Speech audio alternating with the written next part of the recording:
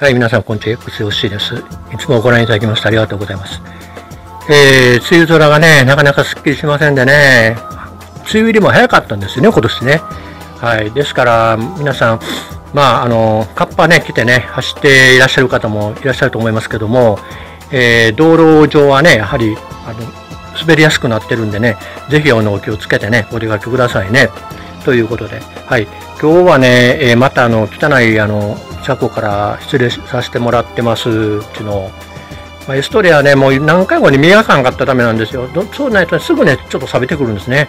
まあ、これはもう仕方がないのか、まあ、そういう車なのかって言って諦めへんかったらいかんって、また言ってるわって言って笑われますけど、はい。で、あのー、そうそう、今日はね、あの、ウィンドスクリーンがね、この前、あの、肩でひっくり返ったでしょ？その時は大丈夫だったんですよ。ですからね、走ってると振動かなんかあの、トーションの力がね、かかったんでしょうね。これね、ここのとこ、これちょっとシール貼ってますけどね、割れたんですよ。でね、シールね、あの、ここだけだったらもう割れたって丸上げだから、対照的にね、あっちもこっちもね、つけたんですけども、まあこれもね、どうだかなっていうね、感じでね、デザイン的にもこう黒だから、もうこれだったら諦めてね、新しいの買おうかと思って、今ちょっと思案してるんですよ。まあ夏の間は、あの、ウィンドスクリーンなくても、まあ比較的、まあ、あの、走れるじゃないですか。ですけどもね、この前これ外して走ってみたんですよ。高速もちょっと走ったんですよ。そうするとね、やはりウィンドスクリーンの効果っていうのは結構あるっていうのはね、よく実感しまして、はい。で、あの、これあの、エストリアの方のその純正じゃなくて、その、社外品ですよね。でなんかね、WS02 やったかな？なんかそういうあの、え、記号のウィンドスクリーンなんですよ。で、これよりもさらにね、横幅5センチ広い W3 だったかな？というのは WS やったから W3 っていうのがあって WS か W3 のがあってそれがねまたさらに大きいんですよ。もうそうなるとねまあ皆さんどうなんですか？あの結構スタイルを気にしておられる方もいらっしゃってそんなにこんなねあの株みたいなねああいうスクリーンはダサいって思っておられるような方もやっぱいらっしゃると思うんですよ。で小さいこのスクリーンでねこうコンパクトなスクリーンで、えー乗られる方、他にまあカスタムされたりとかね、いう方いらっしゃるじゃないですか。はい。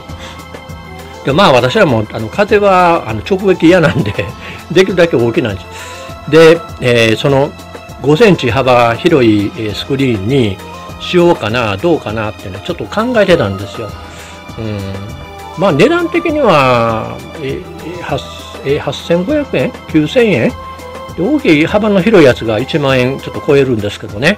それにしようかなと思ったりしたんですね。まあ、あの、スクリーンなかったらね、結構ね、あの高速は特に辛いですねっていうのはよく分かりました。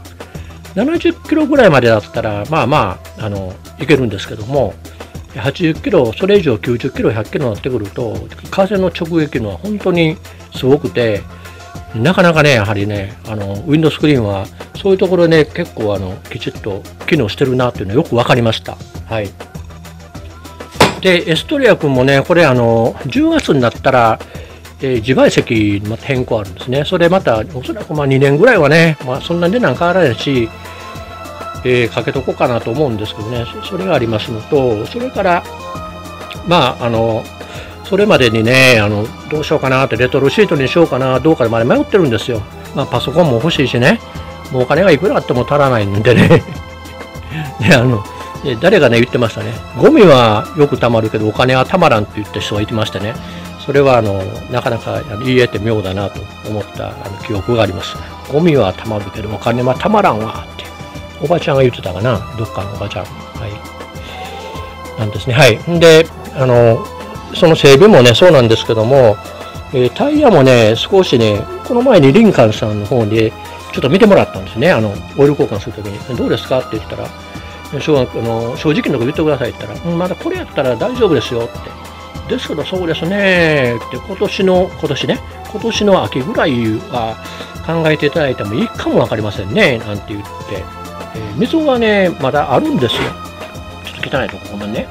あるんですよですけどもあのスリップサインが出かかってるかなというような感じなんですね、はい、でまあ割ってないんだけどもこの縦溝がこう、エストリアのこう、こう、たこう縦でしょ、こうやって。これがね、縦溝のとこね、結構怖いんですよ。こう、なんかこう、変な挙動をぐらぐらして、それはね、W800 乗ってる、えー、女性ライダーの方もね、おっしゃってました。縦溝は怖いのよなんて言ってましたけどね。はい。まあ、そんなんなんですね。とか、そうそう、えー、ブレブレーキフィールドの、あの、え、ブレーキ？フルードか。フィールドじゃないな。フルードか。これのオイルも交換しなきゃなんないしね。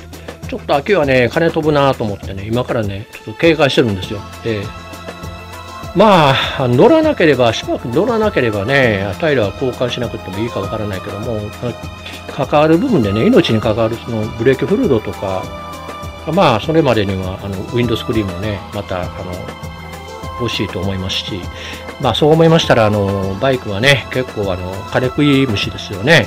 はい。私もね、もうこれから、どうかなと、このエストリアの方も、うん、もうあと1年か2年か乗っていきたいなとは思ってるんですけどね、それまでに壊れないかなと思ってハラハラしてるんですよ。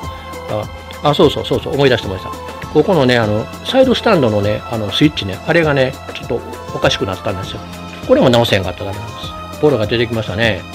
まあ、あの、サイドスタンドについてはね、よく注意して、払って発信すればね、いいことなんで、それであの、慌ててね、発信して、あの、ガツンとなると、それは今までなかったです。